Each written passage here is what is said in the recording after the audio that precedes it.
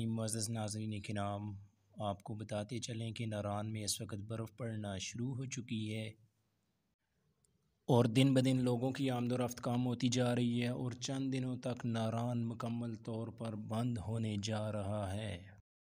इस वक्त हम आपको नारान शहर में लेके जाते हैं और दिखाते हैं कि लोग क्या कर रहे हैं, किधर मसरूफ़ हैं, क्या करने जा रहे हैं और आइंदा का क्या अमल तय कर रहे हैं।